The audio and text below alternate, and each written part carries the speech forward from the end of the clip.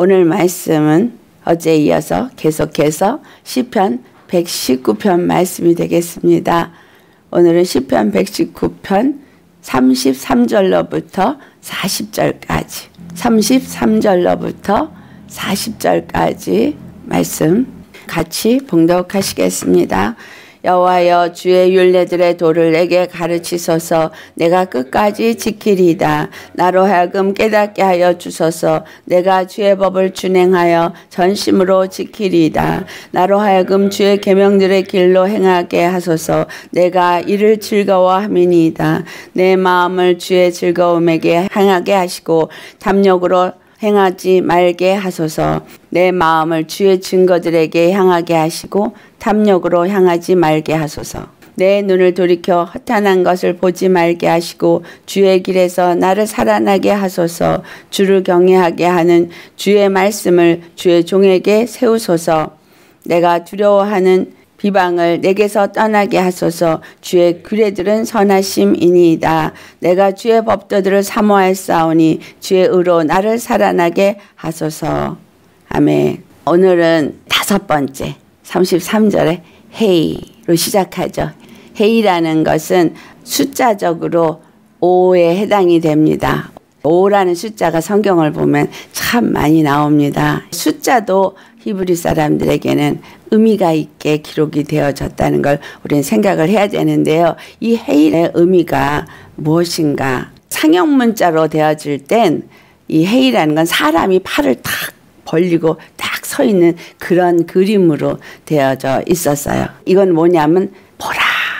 예수님이 그렇게 양팔을 벌리고 십자가에 죽으셨죠. 헤이는 히브리어에서 이스라엘 사람들에게 어떤 의미를 주냐면 신령한 호흡이라는 의미를 담고 있습니다. 신령한 호흡. 그러면 신령한 호흡은 뭐예요? 아담의 그 코에 생기를 불어 넣으신 호흡이잖아요. 이 히브리 사람들에게는 영의 다섯 가지의 단어가 있죠. 네샤마, 네페시, 차야, 예시다, 루하.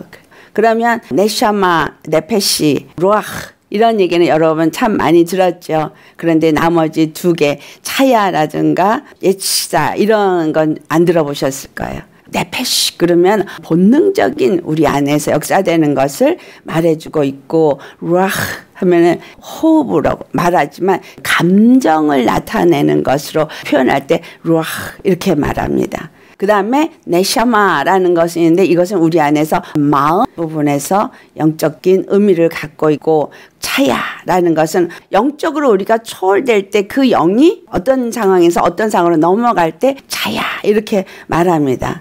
예치다라고 하는 것은 영적으로 하나가 되는 의미를 담고 있다는 거죠.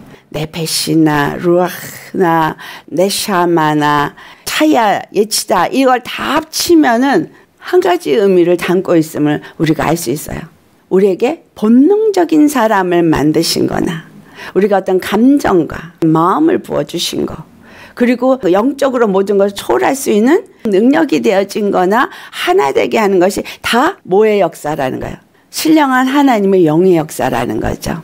이것을 다른 말로 이 사람들은 신령한 호흡이다 이렇게 말하고 있는데 이것을 하나님의 호흡, 하나님의 영, 하나님의 생기 이런 식으로 표현되어지고 있죠.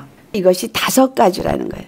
또 어떤 의미를 담고 있냐면 계시라는 의미도 담고 있다는 거예요. 이 헤이라는 단어에 신령한 호흡인 하나님의 영에 또 계시라는 의미도 담고 있으니 우리가 인식하기가 어렵습니다. 어떻게 이러한 헤이라는 알파벳 하나에 이렇게 여러 가지가 같이 섞여져 있을 수가 있겠는가? 이것이 뭐를 나타내고 있는가라는 거예요. 헤이라는 단어를 보면 날렛이라는 단어 어저께 제가 설명을 했죠. 마부가 하나 둘 이렇게 돼 있는데 날렛이라는 단어 안에 요두가 탁 이렇게 있어요.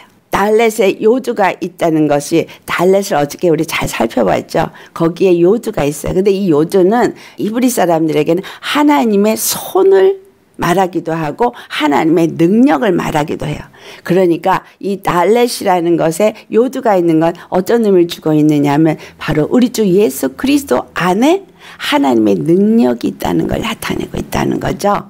예수 그리스도 안에 그 하나님의 영이 있고 하나님의 능력이 있다라는 것을 이 헤이가 표현하고 있다라는 거예요. 하나님의 능력이 예수님 안에 있는 것만 표현하는 것이 아니라 이것은 또 다른 의미에서 예수님이 이 땅에 육체로 오셔서 어저께 달렛을 했을 때 이 달렛은 문이라 그랬잖아요.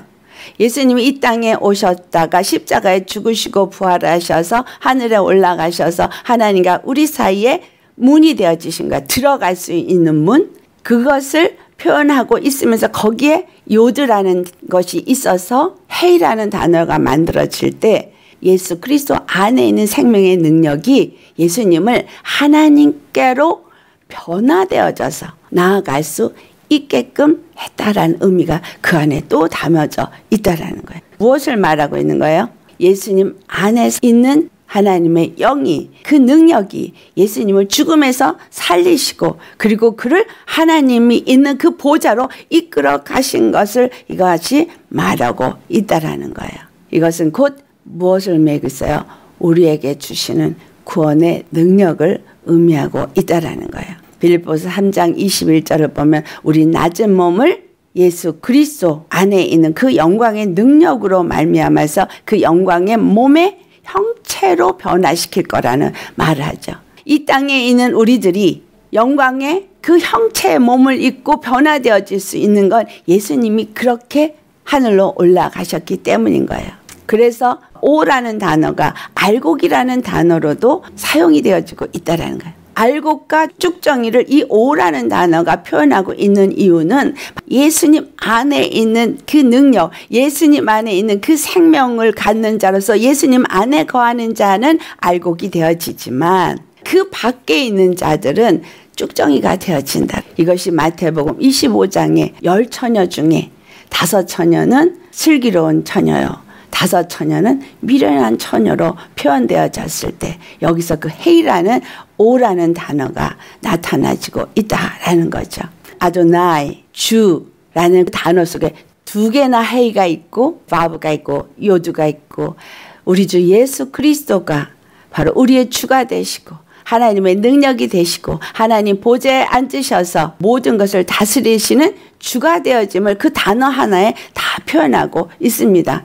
그뿐만이 아니라 창세기 2장 4절에 가면 하늘과 땅을 창조하실 그때에 천지가 창조될 때에 할 때 그 단어에서 신기한 것이 있는데 창조하다라는 뜻인 마라라는 단어 앞에 베트와 헤이가 써 있는데 이 헤이를 조그맣게 써놨다는 거예요. 그러니까 하늘과 땅을 창조하실 때에 처음에 나온 베트는 아들의 의미를 담고 있었죠. 둘. 아들이 창조했다. 근데 그 사이에 뭐가 있냐면 헤이가 있는데 이 헤이가 조그맣게 되어져 있는데 조그만 헤이 뭐예요? 말씀으로. 아들이 말씀으로 하늘과 땅을 창조하신 것을 단어 하나 속에 담아져 있다라는 거예요. 히브리어는 그래서 글씨를 크게 쓴 때도 있고 조그맣게 쓸 때도 있고 선두에 쓸 때도 있고 쓸 때도 있고 이러한 것들이 뭔가를 말해주고 있다라는 거죠.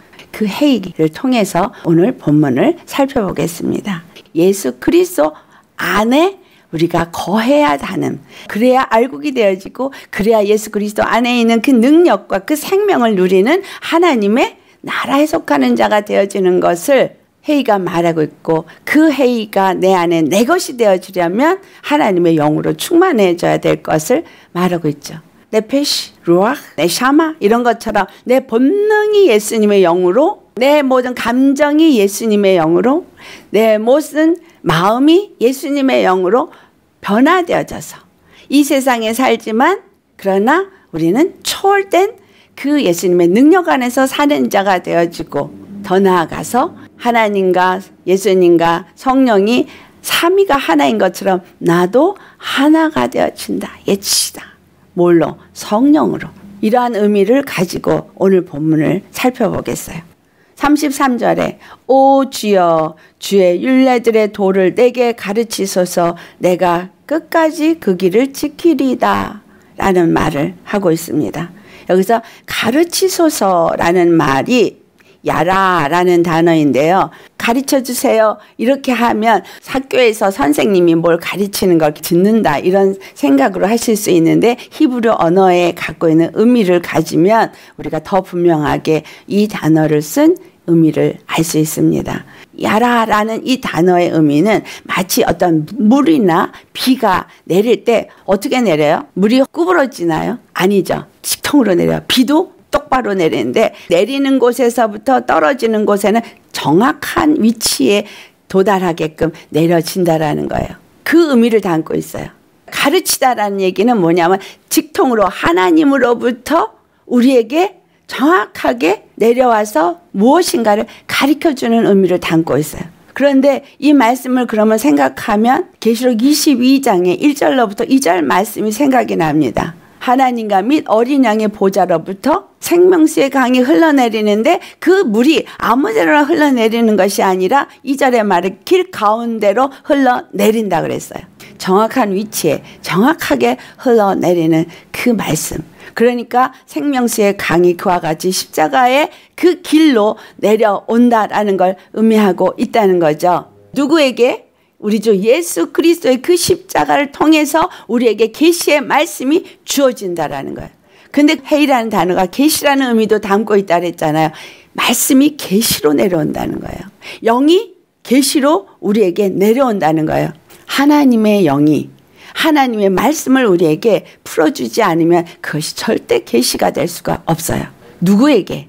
예수 그리스도에게 성령께서 함께 하시면서 그것이 계시로 우리 눈에 보이게 나타나셨죠. 그래서 예수님을 계시라 말하고 있어요. 그 예수님이 그 계시를 어디서 나타냈어요? 바로 십자가에서 나타내셨어요. 십자가에서 나타내셨기 때문에 십자가가 그동안 하나님이 계속 말씀해 오신 말씀, 그 예언의 말씀, 계시의 말씀이다라는 거죠.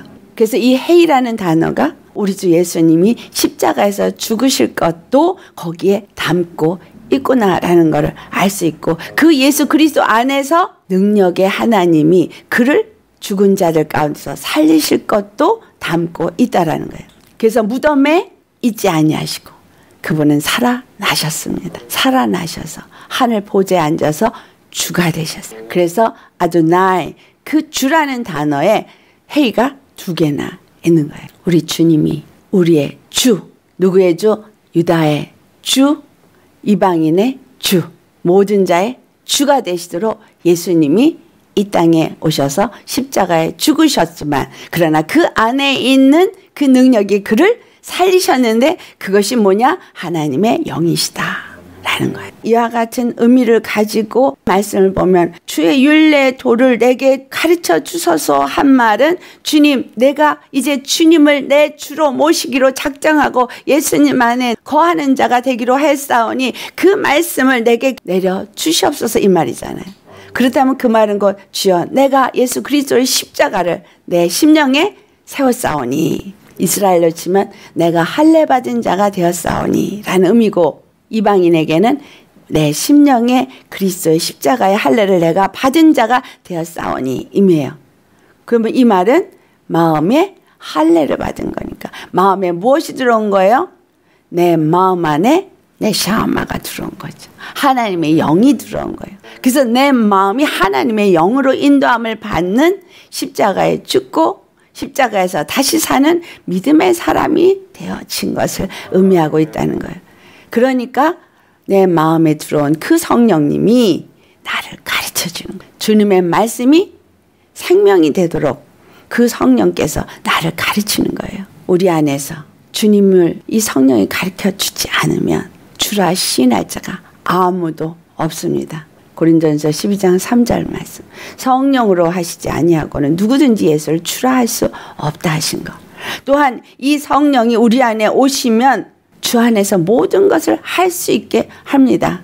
요한복음 6장 44절에서 45절 말씀 같이 봉독하시겠습니다. 나를 보내신 아버지께서 이끌지 아니하시면 아무도 내게 올 수 없으니 오직 그를 내가 마지막 날에 다시 살리리라. 선지자의 글에 그들이 다 하나님의 가르치심을 받으리라 기록되었은즉 아버지께 듣고 배운 사람마다 내게로 오느니라.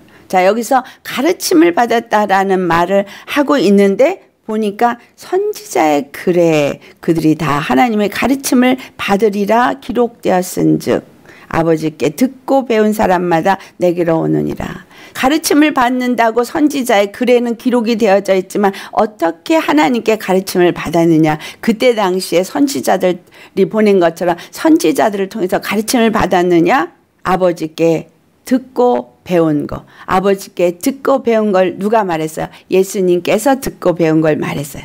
아버지께로부터 이끌림을 받지 아니하면 아무도 내게 올 수가 없다라는 것은 하나님의 영으로 말미암아서 듣게 하시고 배우게 하시고 가르침을 받게 한 자가 아니면 올 수가 없다는 말을 하는 거잖아요. 그러니까 성령의 역사를 말해주고 있는 거죠. 요한복음 17장 2절에 가면 아버지께서 이 아들에게 모든 사람들에게 영생을 주게 하시려고 만민을 다스리는 권세를 주셨다 그러거든요. 영생을 주시기 위해서 우리에게 듣게 하시고 믿게 하시고 가르쳐 주시는 거예요. 근데 이거를 성경이 뭐라고 표현하냐? 요한복음 14장 26절에 보혜사 성령이 오시면 이렇게 말하고 있거든요. 보혜사 성령이 무엇으로 오세요? 아버지의 이름으로 오신다는. 아버지의 이름으로 온다는 거 아버지께로부터 이제 가르침을 받기 위해서 그 이름의 권세를 가지고 들어온다는 거예요. 그래서 그 보혜사 성령이 오시면 너희에게 모든 것을 가르치고 그래서 우리에게 가르치시는 거는 바로 아버지께로부터 온 성령님이라는 거예요. 아버지께로부터 온 성령님이 우리를 왜 가르치냐? 영생을 주기 위해서 가르치시고 아버지께로부터 오는 성령은 누구에 대해서 가르치냐? 예수 그리스도께 대해서 가르쳐 준다라는 거예요. 예수 그리스도가 누구인지를 알아야 우리가 영생에 이를 수 있기 때문인 거예요. 그래서 예수님께 보내어졌다라는 거예요. 누구로 인해서? 아버지로 인해서 성령의 역사를 따라서 예수님께 보내졌다. 예수님께 보내임을 받으려면 무엇이 있어야 돼요? 율법 앞에 서야만 합니다. 율법 앞에 서서 내가 죄인이라고 깨달은 자만 오게 돼 있어요. 성령이 우리로 하여금 예수님께 우리를 보내려면 먼저 성령은 우리에게 죄를 깨닫게 하신다는 거예요. 그러니까 말씀을 보내셔서 우리가 어둠 속에 있는 것을 빛으로 드러내서 더러운 것을 알게 하는 것처럼 성령의 첫 번째 역사는 말씀을 보내시는 거예요. 그 성령의 말씀으로 우리가 깨우쳐 알아질 때 지식으로 듣지 않고 영으로 깨우쳐 알아졌을 때 내 죄를 깨닫게 되어지고 그 죄를 깨달으니까 예수님께로 내가 나아갈 수 있게 되는 거예요. 아버지께서 나를 예수님께 보낼 때 예수님께 나아가는 자가 되어지는 겁니다. 그로 인해서 우리가 그 말씀을 듣게 되는 거죠. 십자가의 복음을 듣게 되는 거예요. 믿게 되어지고 가르침을 받게 되는 거예요. 이 십자가의 은혜가 우리에게 어떤 것인지 그 십자가의 능력이 어떤 것인지를 배우게 되었죠. 왜 배워져요? 예수 그리스도 안에 들어가야 하니까. 우리는 예수 그리스도 밖에 있는 자가 되지 아니하고 예수 그리스도 안에 들어가는 자가 되어야 되니까 일단은 뭔지 모르지만 말씀을 듣게 되죠. 듣고 그 말씀이 어 그런가 해서 그 말씀 앞에 나를 서 보니까 내 죄가 드러나는 거야. 내가 잘못 행한 게 드러나고 잘못 생각한 게 드러나고 다른 영에 의해서 살았던 모든 것들이 드러나는 거예요.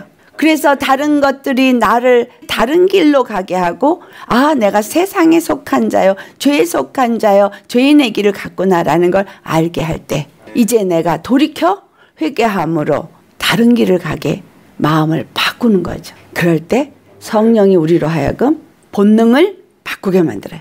죄의 본능이 무슨 본능으로? 하나님의 본능으로. 또 죄의 감정이 하나님의 감정으로. 죄의 마음이 하나님의 마음으로. 이 땅의 모든 것들을 초월할 수 있는 능력이 생기게 하시고 그래서 하나님과 점점 점점 더 하나가 되어지게 하는 이 일이 전부 뭐가 하는 거예요? 하나님의 영이 하는 일인 거예요. 단어적으로 히브리어로는 네페시, 루아, 네샤마 이렇게 바꿔서 말했지만 주 안에서 이 모든 것은 성령의 역사다.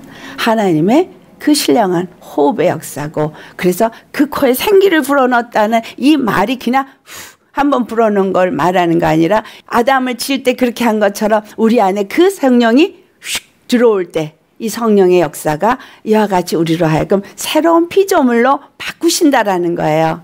본능부터 바꾸신다는 거예요. 말씀 안에서 깨달아 알아지고 예수 그리스도께 나와서 회개된 사람은 본능부터 바뀌어야 되는 거예요. 변화 역사가 있게 되어지는 거예요. 생각도 마음도 다 바뀌어질 때. 그래서 빌립보서 2장 13절에 우리 안에서 행하시는 이가 하나님이시라는 말씀을 하는 거예요. 성령이 내 안에 들어오면 이제 본능부터가 바뀌었기 때문에 우리의 감정도 바뀌고 마음도 바뀌었기 때문에 내 안에서 역사되어지는 것은 성령이셔야 하고 그리고 그분이 원하시는 기쁘신 뜻대로 자기의 기쁘신 뜻을 우리에게 소원으로 주시고 행하게 하신다는 거예요. 그래서 우리의 마음의 소 원이 바꿔져요. 이게 정상적인 믿음의 길로 나아가는 행보입니다. 시편 기자가 주의 윤례를 내게 가르치소서라는 이 말 한마디 속에 무엇이 들어가 있는 거예요? 그 윤례의 도를 가르치면 내가 끝까지 그 길을 지킬 수 있다라는 거예요. 근데 끝까지 그 길을 지킬 수 있는 건 예수님 밖에서 지킬 수 있어요. 예수님 안에서 지킬 수가 있어요. 예수님 안에서만 그 길을 끝까지 지킬 수 있어요. 우리가 예수님 안에 거할 때만 끝까지 그 길을 갈 수 있지 예수님 밖에서는 누구도 갈 수가 없어. 성령의 역사신가 인도하심을 받지 않으면 그 누구도 그 길을 끝까지 갈 수 있는 자는 없다라는 겁니다. 여러분이 끝까지 그 길을 갈 사람이라면 이가 34절에 말한 것처럼 나로 하여금 깨닫게 하여 주소서라고 말했지만 엄밀하게는 원어 성경에서는 내게 명철을 주소서 이렇게 돼 있어요. 내게 명철을 주소서. 왜 명철을 깨닫도록 명철을 주소서 이 말이에요. 무엇을 깨닫도록 율례의 도를 깨닫도록 명철을 주소서. 그리고 내가 주의 그 율법을 준행하여 전심으로 지키도록 주라는 거예요. 전심으로 주의 율법을 준행하겠나이다. 라고 이가 말하고 있습니다. 우리가 예수 그리스도 안에 들어가서 예수 그리스도 안에 속한 자가 되어지지 않으면 성령으로 인도함을 받는 자가 아니면 절대로 예수 그리스도의 십자가의 그 도를 알래야 할 수도 없거니와 율법을 왜 주셨는지도 알 수가 없고 내가 온전히 주님이 주신 그 말씀들을 전심으로 지킬 수도 없는 거예요. 그래서 이가 내게 명철을 주소서 하고 기도한 것처럼 우리도 뭘 구해야 돼요? 하나님의 지혜와 계시형이 임하기를 구하야죠. 그래서 에베소 1장 17절에 지혜와 계시형을 주사라고 말했는데 이 영이 어떤 영인가 이사에서 11장에 말하죠. 이새의 줄기에서 한 싹이 나오는데 그 뿌리에서 한 가지가 나오는 거. 다윗의 후손 중에서 유다 지파 중에서 예수 그리스도가 올 것을 말하고 있어요. 그런데 이 절을 보면 그 예수 그리스도에게 뭐가 있는지를 말해요. 그의 위에 주의 영 곧 지혜와 총명의 영이요 모략과 재능의 영이요 지식과 주를 경외하는 영이 있다라는 거예요. 예수님께 그 영이 있어요. 헤이가 나타내는 말. 예수님 안에 무엇이 있다고요? 하나님의 능력이 있는데 이것이 하나님의 영이죠. 그러니까 이사야서 11장 2절에 예수 그리스도 위에 그 성령이 임하시고 그 성령이 예수님과 함께 함으로 인해서 지혜와 총명의 영이 있고 모략과 재능의 영이 있고 주를 경외하는 영이 있으니 예수님은 하늘의 지혜와 하늘의 총명과 하늘의 모략과 하늘의 재능으로 이 땅 가운데서 행하셨다는 거예요. 그런데 우리가 예수 그리스도 안에 있다면 예수님 안에 있는 그 능력이 내 능력이 되어집니다. 예수님 안에 성령이 있는 것처럼 성령이 우리에게 오셨어요. 부활하셔서 보좌에 앉으시고 우리에게 성령님을 보내주셨는데 이 성령님이 어디에 계신 영이에요? 하나님 안에 있는 영이에요.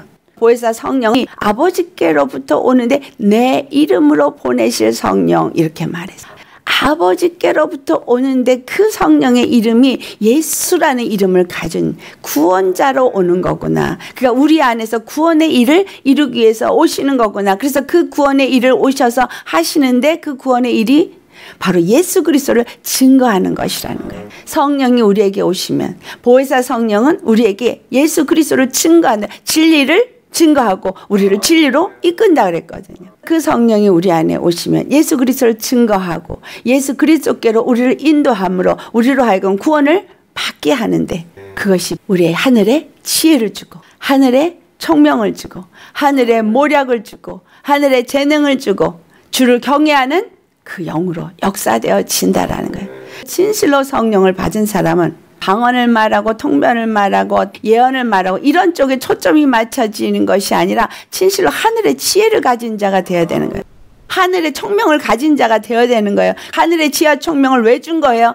예수 그리스도를 통해서 영생을 얻게 하려는 거예요. 진실로 성령을 받은 사람은 말씀의 깨달음이 당연히 와야 합니다. 말씀의 깨달음이 오고 이 십자가의 은혜가 무엇인지를 깨달아 알게 되어지는 거예요. 여러분이 말씀을 받을 때 어떤 목사가 말을 하는데 이걸 들으니까 알아지는 게 아니라 성령이 나에게 깨닫게 하여 주시니까. 그런데 사단도 거짓의 영으로 거짓을 깨닫는 것 같이 주기도 한다는 거예요. 어떤 목사님은 그런 거야. 내가 깨달았대. 그래서 뭘 깨달으셨어요? 그랬더니 막 얘기를 해. 신이 나서 얘기를 해. 근데 틀린 말이더라고. 이게 뭐예요? 그 목사님은 자기가 하나님부터 깨달았. 그 신이 나서 얘기하는데 잘못 깨달은. 그러니까 거짓 영이 와서 잘못 가르쳐. 그래서 우리는 주님이 주시는 이 물이 내려올 때 정확하게 어떤 곳을 향해서 내려온다는 거 이거 기억하셔야 돼요. 십자가를 통해서만 내려오지 다른 곳으로 내려오지 않습니다. 내가 십자가에 죽고 예수님으로 말미암아 살려는 내 욕심이 없이 그 십자가로 나아가는 믿음의 사람을 통해서 제대로 말씀이 계시로 내려온다라는 거예요. 아니면 다른 복음이 나오는 거예요. 다른 해석 그리고 다른 깨달음으로 이거 맞다고 그리고 또 그걸 가르쳐요. 그럼 또 그거 가르침 받아서 또 그대로 또 얘기해. 오늘날 많은 가르침들이 그렇게 내려온 게 있어가지고 다른 목사님한테 또 배운 것 또 가르치고 또 해가지고 거짓말이 내려온 것들이 꽤 있습니다. 이스라엘 가보지도 않고 어떤 목사님이 한마디를 했더니 그걸 또 누가 받아서 그대로 전하면서 하다 보니까 정말 말도 안 되는 말 을 하는 걸 제가 들은 적이 있어요. 우리가 내 욕심을 십자가에 못 박고 내 정을 십자가에 못 박아야 되는 이유 정과 욕심을 십자가에 못 박도록 하나님이 나를 훈련시키는 이유가 뭐냐는 거예요. 왜냐하면 내 심령에 십자가가 세워져서 내 심령에 온전히 예수 그리스도로 말미암아 사는 자가 되어지는 예수님만을 주로 섬기고 나는 없고 내 육체의 정력이 없이 예수님만을 높이고 예수님의 은혜 속에 살려는 하는 이런 자가 아니면 말씀을 잘못 듣고 잘못 풀고 잘못 가르치는 자가 되어진다라는 것. 중요한 것. 해이라는 단어가 우리에게 제시를 합니다. 모든 것은 우리 주 예수 그리스도 안에 있다라는 하나님의 안에 있는 모든 것을 예수 그리스도 안에 다 주셨고 예수 그리스도가 그것을 십자가에 죽으시고 부활하시면서 다 가지셨어요. 그래서 우리도 예수 그리스도 안에 들어가야 그것을 가진 자가 되어지는 거예요. 그 법도를 알 수 있는 것도 그리스도 예수 안에서 알아야 되는 거고 그 말씀도 예수 그리스도 안에 있어야 지킬 수 있는 거예요. 예수님 밖에서는 성령의 도움이 없이는 절대로 절대로 지킬 수도 없는 거예요. 끝까지 믿음을 유지하고 싶지만 마음은 원이로 돼 육신이 약해요. 그래서 육에 대해서는 죽은 자가 되어야 합니다. 전심으로 그것을 준행하게 준행하겠대요. 우리가 전심으로 주님의 말씀을 준행하려면 반드시 성령의 역사가 있어야만 돼요. 성령님이 날 돕지 않으면 우린 절대로 전심으로 그 법을 준행할 수가 없어요. 주님의 말씀을 따라 순종할 수가 없어요. 여러분이 구해야 될 것은 무엇입니까? 내 안에 나로 하여금 전심으로 주님의 말씀에 순종할 수 있는 자가 되어지도록 인도하여 주시옵소서. 성령이 내 안에서 역사하면 진리로 나를 이끌고 진리는 나를 자유케 하고 진리는 나로 평안하게 하고 진실로 주께서 십자가에서 이루신 모든 것들을 깨달아 알고 되어지고 나는 그 안에서 자유하는 자가 되어지도록 나를 이끄신다라는 거예요. 전심으로 그걸 준행한다. 그렇게 될 때 이사야서 11장 그 다음 3절에 뭐라고 해요? 그가 주를 경외함으로 즐거움을 삼을 것이요. 주의 경외하는 영이 그 안에 임하니까 주를 경외함으로 모든 것을 행하되 즐거움으로 행한다는 거예요. 우리 주 예수님이 이 땅에 오셔서 우리의 죄를 위하여 모든 고난과 조롱과 핍박과 비난과 침뱉음을 당하시고 그리고 십자가에 못 박이실 때까지 그분은 그 모든 일을 주를 경외함으로 행하셨다는 거. 요한복음 4장 30절 34절의 말씀. 저는 이 말씀에 너무너무 은혜를 받았었어요. 그렇구나. 나도 이렇게 살아야겠다. 내 양식은 하나님의 뜻을 행하고 그 일을 온전케 하는 것이라. 예수님은 이 땅에 살면서 그 모든 자기 육체에 먹는 것조차도 하나님의 뜻을 이루고 온전케 하는 것으로 사신 분인 거예요. 생각 자체가 마음 자체가 모든 것이 하나님께 초점이 맞춰져 있고 그 아버지를 경외함이 그 안에 즐거움으로 모든 일을 행하신 분이라는 거예요. 그래서 이사서 11장 3절에 그의 눈에 보이는 대로 심판하지 아니하시고 그 귀에 들리는 대로 판단하지 아니하셨다라고 말해요. 예수님을 우리 안에 모셨습니까? 예수님이 나의 주가 되셨습니까? 그렇다면 눈에 보이는 대로 판단하지 말고 귀에 들리는 대로 판단하지 말아야 한다는 거예요. 영의 눈으로 봐야 하고 영의 귀로 들어야 하는 거지 육의 눈으로 보고 육의 귀로 보고 들으면 잘못된 판단을 하고 잘못된 길을 간다는 거예요. 주님의 영의 말씀은 육의 귀로 들리지 않게 하세요. 심령의 귀에 들리게 하십니다. 정말 내가 십자가에 죽어야 심령으로 보고 마음의 눈으로 보고 마음의 귀로 듣습니다. 육의 눈으로 보고 육의 귀로 듣는 게 아닙니다. 절대적으로 믿음의 사람은 마음의 눈으로 보고 마음의 귀로 들으셔야 하는데 이것은 성령이 보게 하시고 듣게 하셔야만 한다는 거예요. 예수님이 이사야서 11장 4절에서 5절에 공의로 가난한 자를 심판하시고 정직으로 세상의 겸손한 자를 판단할 것이며 그의 입에 막대기로 세상을 치며 그의 입술의 기운으로 악인을 죽일 것이며 공의로 그의 허리띠를 삼으며 성실로 그의 몸에 띠를 삼으리라. 공의로 심판하시고 십자가의 공의를 떠나서 행하지 아니하는 분이십니다. 지혜와 계시양을 우리에게 주시옵소서. 그래야 하나님을 알게 되기 때문에 그래야 예수 그리스도를 통해서 이루시고자 하는 하나님의 뜻이 무엇인지를 알기 때문에 십자가의 도가 무엇을 말하고 있는지를 알기 때문에 우리가 끝까지 전심으로 나아갈 수 있는 자가 되어지는 겁니다. 성령이 우리를 진리 가운데로 인도하십니다. 하나님께로부터 온 지혜와 세상에서 온 지혜의 차이점이 무엇인가? 우리 이거를 한번 짚고 넘어가겠어요. 야고보서 3장을 찾아보시겠어요. 야고보서 3장. 내가 하나님께 지혜와 계시형을 구하였는데 바로 하나님으로부터 온 그 지혜와 총명과 모략과 재능의 신이 우리 안에 임하면 어떻게 되어지나 지혜와 계시형이 임하기를 원하는 우리는 이 말씀을 꼭 알아야 돼요.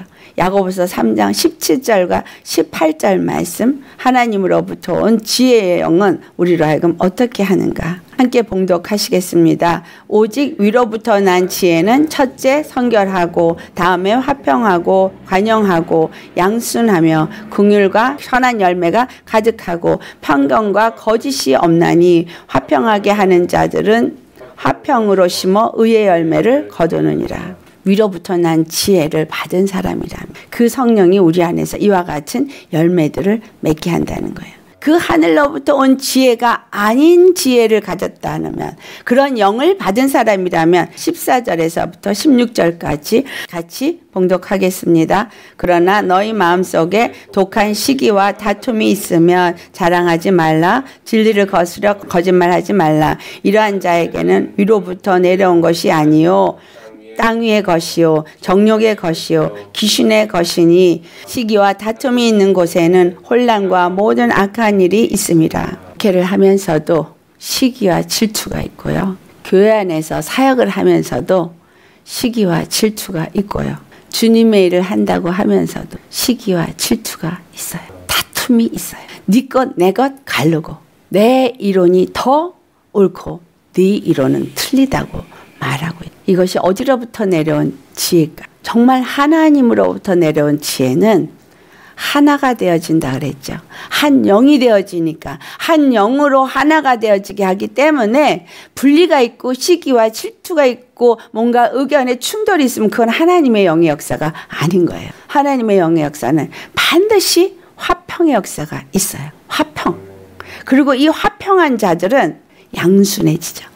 다른 사람도 관용도 하게 되어지고 그래서 선한 열매가 가득해지는 거예요. 이 마음이 주님 앞에 성결 하니까 자기 욕심이 없기 때문에 이와 같은 일이 있을 수 있는 거예요. 십자가에 죽은 자가 아니면 예수 그리스도에 온전히 속한 자가 아니면 이러한 열매를 가질 수가 없는 거예요. 그래서 내가 하나님의 말씀을 많이 안다. 하나님으로부터 어떤 영을 받아서 은사를 나타내는 일을 한다. 라고 말하는 분 중에 잘 살펴보세요.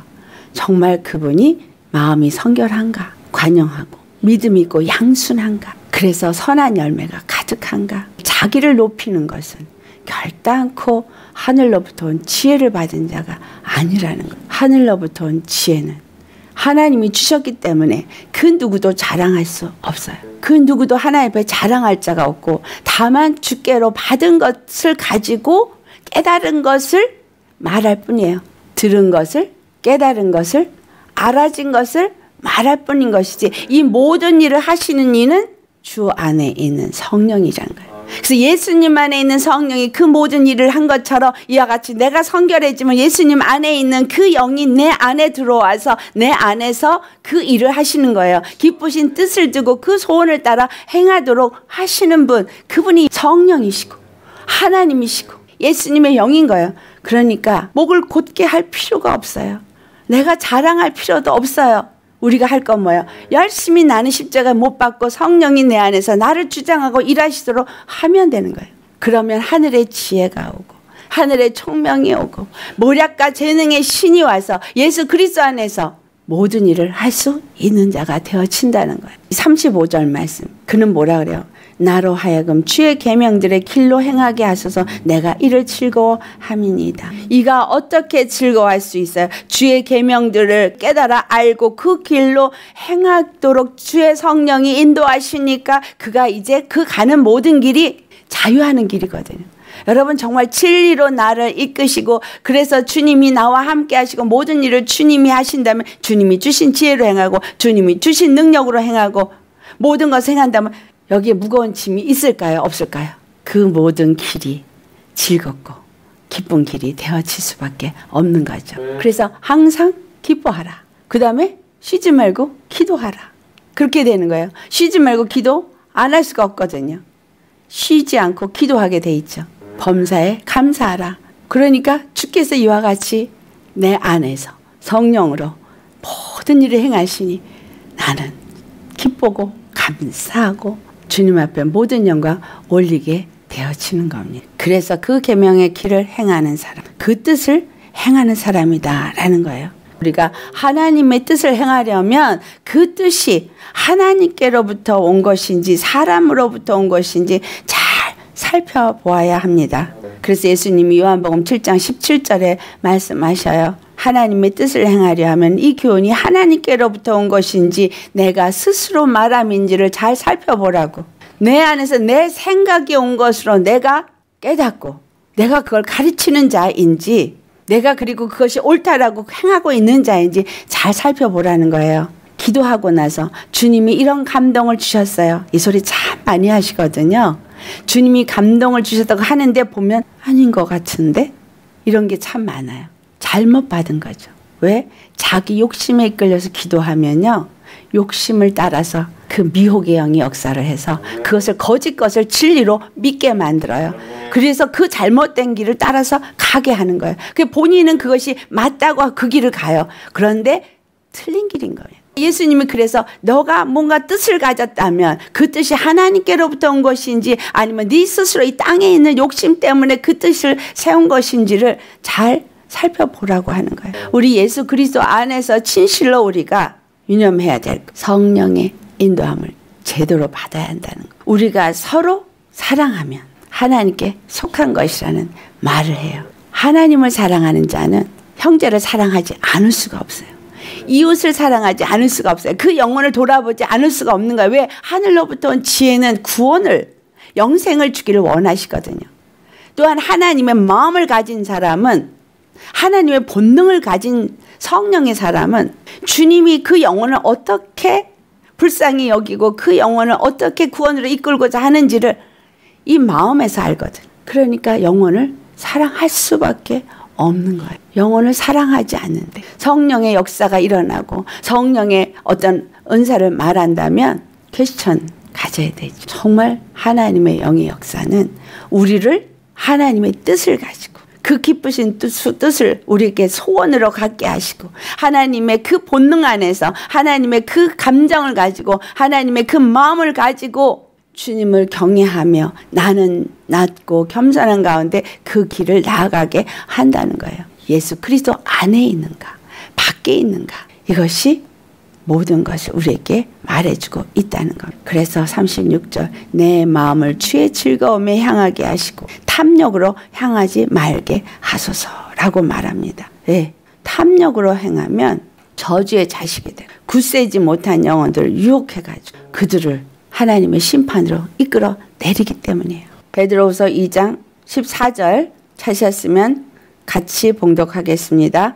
음심이 가득한 눈을 가지고 범죄하기를 그치지 아니하고 구세지 못한 영혼들을 유혹하여 탐욕에 연단된 마음을 가진 자들이니 저주의 자식이라. 이와 같은 사람들이 누구를 말하고 있는가? 15절부터 16절까지 같이 봉독합니다. 그들이 바른 길을 떠나 미혹되어 부올의 아들 발람의 길을 따르는도다. 그는 불의의 싹을 사랑하다가 자기의 불법으로 말미암아 책망을 받되 말하지 못하는 나귀가 사람의 소리로 말하여 이 선지자의 미친 행동을 저지하였느니라. 아멘. 17절과 18절. 이 사람들은 물 없는 샘이요 광풍에 밀려가는 안개니 그들을 위하여 캄캄한 어둠이 예비되어 있나니 그들이 허탄함 자랑의 말을 토하여 그릇되게 행하는 사람들에게서 겨우 피한 자들을 음란으로서 육체의 정욕 중에서 유혹하는도다. 발람 그는 자기 불의의 싹을 사랑하다가 육체의 욕심을 따라 가다가 이와 같이 이스라엘을 범죄케 하는 일을 만든 장본인이에요. 그가 모압 왕의 그 종대케 하는 거에 미혹되어져서 가서 나름대로는 뭔가를 한 것 같지만 나를 위하여 재단을 쌓아. 재단은 하나님을 위해서만 쌓는 것이지 나를 위해서는 재단을 쌓으면 안 돼요.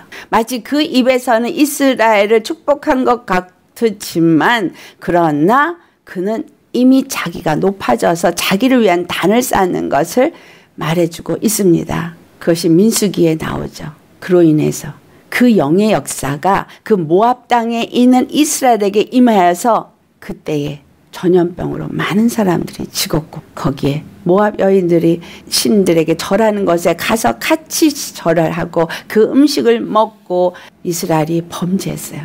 비느하스가 그 모든 것을 끊어내는 일을 했죠. 이것은 지금 무엇을 말하고 있어요? 이 땅에 혼돈되어져 있고 불의 싹을 갖고 행하는 이런 발람의 교훈들이 교회 안에 있다라는 거예요. 그들이 자기가 원하는 그 정욕을 따라서 나아가다 보니 미혹을 받아서 말씀을 받되 잘못 받고 그래서 잘못 가르침을 받고 잘못 가르치는 자가 되어져서 결국은 그들이 가르치는 모든 말은 그 안에 생명이 없는 말씀인 거예요. 물 없는 샘이고 생명이 없는 그러한 어떤 말인 거죠. 광풍에 물려가는 안개같이 오직 그들에게 예비된 건 캄캄한 어둠뿐인데 믿음이 약해서 저 겨우 사망에서 피해서 교회 들어온 자들을 다 육체의 정욕을 따라서 결국은 지옥으로 가게끔 한다 이 말이에요. 오늘날 이 일들이 있습니다. 이 책임을 그렇게 만든 목사들이 지게 되어져 있어요. 그 피를 그들에게서 찾는다고 말씀하셨. 그러니까 함부로 말씀을 가르치는 자, 전하는 자가 되어서도 안 되고 내가 성령 안에서 이 십자가에 못 박힌 심령이 되어져서 말씀을 받아야지 제대로 된 말씀을 받고 깨달아서 전할 수가 있는 것이지 그렇지 않으면 다른 복음을 전한다는 거죠. 37절 내 눈을 돌이켜 허탄한 것을 보지 말게 하시고 주의 길에서 나를 살아나게 하소서. 즉 이 허탄한 것을 보지 말게 해달라는 얘기는 예수 그리스도 안에 확실하게 거하는 자가 되게 해달라 이 말이죠. 허탄한 것이 뭐예요? 요한일서 2장 16절에 이 세상에 있는 것들을 사랑하지 말라 하시면서 세상에 있는 것들은 육신의 정욕과 안목의 정욕과 이생의 자랑이라고 말합니다. 세상에 있는 것들을 사랑하지 말라. 세상에 있으면서 세상의 것을 사용하고 필요해서 그것은 하지만 내 마음은 예수님만 사랑하는 사람이 되라는 거예요. 이 육체의 정욕과 이 안목의 정욕과 이 생의 자랑은 바로 선악과입니다. 보암직하고 먹음직하고 지혜롭게 할 만큼 탐스럽게 하는 그런 것들에 현혹되지 말라는 거예요. 오직 이 사람들의 하나는 모든 정욕은 반드시 지나가요. 요한에서 2장 17절에 있는 말. 그렇지만 하나님의 뜻을 행하는 자는 영원히 예수 그리스도 안에서 영생을 얻는 자가 되어집니다. 이 세상도 지나가고 정욕도 지나가고 인생은 한 번 죽는 것은 사람에게 정하신 이치라 했어요. 반드시 육은 지나가게 되어져 있어요. 그래서 바람에 날아가는 안개라고 표현하는 거. 하지만 정말 그 뜻을 알고 예수 그리스도 안에 믿음으로 살면서 그 뜻을 행하는 사람은 예수 그리스도가 영원하니 그 예수 그리스도와 함께 영원히 사는 자가 되는 것입니다. 38절에 주를 경외하게 하는 주의 말씀을 주의 종에게 세우소서라고 말했는데 여기서 빠진 게 있어요. 그가 전적으로 주를 두려워한다는 거예요. 그의 마음이 주님을 경외하기를 전적으로 경외하고 두려워하기 때문에 주님의 말씀을 주의 종에게 굳게 세우라는 이 굳게 세우라는 단어가 빠졌어요. 그냥 세우라는 말이 아니에 굳게 세우라는 거예요. 내가 정말 그 십자가가 굳게 내 심령에 세워져서 어떤 바람이 불고 비가 오고 창수가 나도 요동치 아니하는 굳건한 믿음. 여러분 정말 성령의 인도함을 받아야 말씀이 온전히 이 십자가밖에 없구나라는 게 굳건해져야 이것만 갖고 나아갈 수 있습니다. 이렇게 저렇게 많은 것들로 여러분을 흔들 수 있어요. 얼만큼 내가 안 흔들리고 견고하게 끝까지 잘 갈 수 있겠는가? 내 힘으론 안 돼요. 주님이 도와주셔야 돼요. 성령님이 나를 도와주셔서 그렇게 나를 이끌어 가셔야 되기 때문에 정말 나는 성령이 필요해요. 주의 이름으로 오시는 이여. 내 안에 임하시옵소서. 성령님 내게 임하셔서 정말 이 십자가밖에는 없다는 것을 확증시켜 주시옵소서. 제 설교를 듣고 어, 그런 거가 아니라 성령님이 여러분한테 여기 확증을 시켜 주셔야 돼요. 그걸 기도하세요. 제가 틀린 말 하면 어떡해요? 그렇잖아요. 확인하셔야 되잖아요. 누가 확인해요? 다른 목사님 설교하고 비교해서? 아니요. 성경을 내가 잘 분석을 하고 살펴보니까 그렇게 능력이 있으시면 할렐루야지 뭐. 성령이 확실하다고 가르쳐 주셔야 돼요. 주님 이거 맞습니까? 그러고 왜? 주님이 그거 맞아. 라고 할 때는 내 안에 확신이 와요. 견고해져요. 갈수록 견고해지고 갈수록 다른 건 없다. 오직 십자가다. 이걸 알고 내가 더 십자가 안으로 가려고 하고 있고 십자가에 나를 버리고 오직 주님의 그 생명으로 영으로 살려고 하면 하늘의 지혜가 점점 더 와요.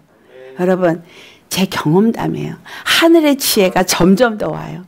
더 총명해지고요. 뭐랄까 재능이 신이 오잖아요. 그러니까 재능도 더 생겨요.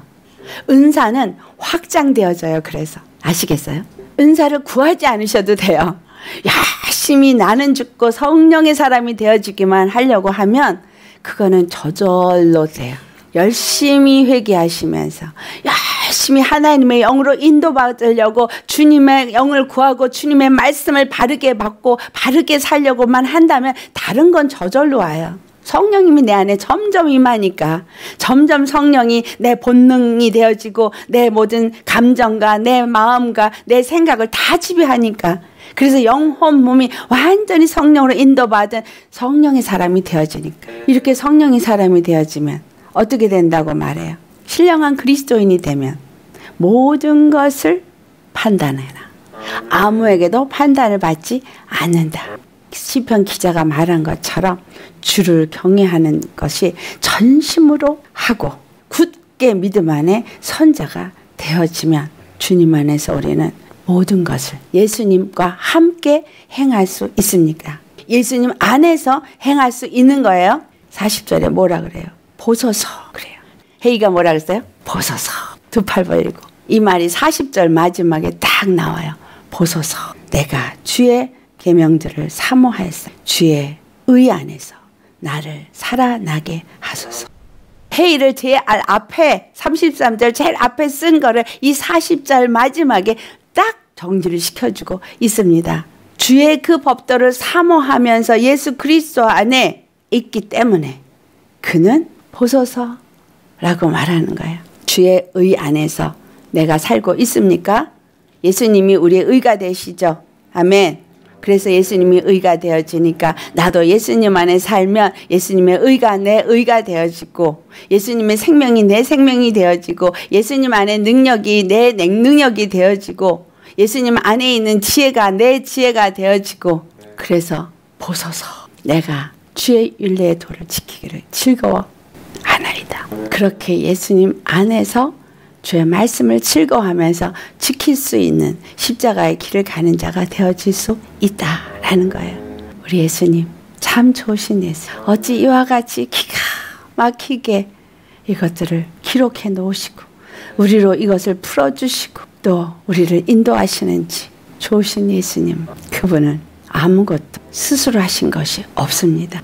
그 안에 무엇이 있었어요? 능력이 있었어요. 무슨 능력? 요한복음 10장 18절. 버릴 수 있는 능력, 또 다시 얻을 수 있는 능력. 그래서 자기 목숨을 내어놓되 아낌없이 그냥 내어놓을 수 있었어요. 예수님의 영의 능력이 내 안에 오면 육신의 것 버릴 수 있어요. 그리고 이 버릴 때는 뭘 알기 때문에 예수님 안에서 얻는 것이 얼마나 풍성한지를 알기 때문에 그래서 지혜와 계시형을 내게 주셔서 하나님을 알게 하시고 그 부르심의 소망이 어떠한 것이 알게 하시고 그 영광의 풍성한 기업이 어떠한 것인지를 알게 하옵소서. 그래서 예수 그리스도 안에 있는 그 무궁한 생명의 능력 그것이 어떠한 건지 우리가 알아지는 것. 예수 그리스도 안에 사는 우리 모두 되십시다. 할렐루야. 기도하시겠습니다. 할렐루야 거룩하신 아버지. 예수 그리스도 안에 있는 그 영, 그 능력, 그것이 예수님을 이 땅에 아들로 오셔서 십자가에 죽으시기를 버릴 수 있는 능력으로 버리셨고 또 다시 얻을 수 있는 능력으로 살아나셔서 우리의 길이 되어 지셨고 우리의 능력이 되셨습니다. 이것을 우리에게 알게 하심으로 우리로 십자가의 도를 깨닫도록 주님의 그 윤례 규례가 그 어떤 것인 것을 알도록 성령으로 우리에게 임하심을 또한 감사드립니다. 아버지께서 예수 이름으로 보내실 그 성령이 우리 안에 거하시니 그 영은 지혜와 총명의 신이요 모략과 재능의 신이요 여호와를 경외하는 신이라 하셨사옵니다. 주님 그 지혜와 계시의 영으로 우리에게 임하셔서 주님의 말씀을 더욱더 깨달아 알게 하옵시고 영의 눈을 가지고 시대를 분별하게 하옵시고 영의 길을 가지고 주님의 말씀을 통해서 우리에게 주시는 성령이 교회들에게 하는 음성을 들을 수 있게 하여 주시옵소서.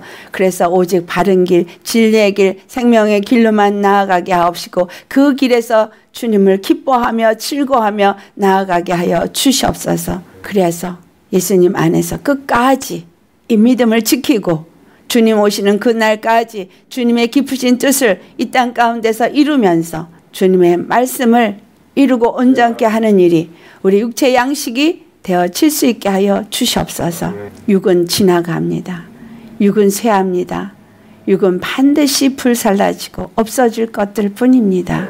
우리의 영원한 내 안에 세워진 속사람이 잘 강건하게 세워질 수 있도록 주의 말씀을 가르쳐 주시옵시고 그 말씀을 잘 가르침을 받도록 우리 심령 속에 예수 그리스도의 십자가만이 세워지게 하옵시고 십자가를 통해서 예수님 안에 들어가 예수님 안에서 주신 그 생명과 능력과 그 영의 이끌림을 받아 우리 모두가 예수 그리스도 안에서 선한 열매가 가득할 수 있도록 우리의 마음은 성결하고 주님 안에서 관영하고 온유하고 순전한 그러한 심령들이 다 되어져서 주님 앞에만 영광이요.